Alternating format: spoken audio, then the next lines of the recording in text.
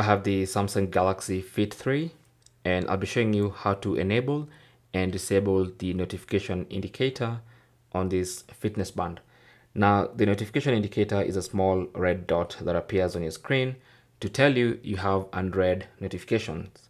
It normally appears on the left hand side. So to enable or disable that, simply go to the app screen and go to settings.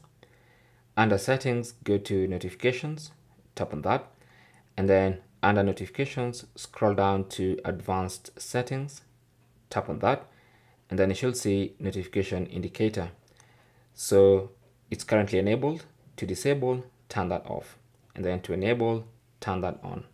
And that's basically how to enable or disable the notification indicator red dot on your Samsung Galaxy Fit 3. Thanks for watching.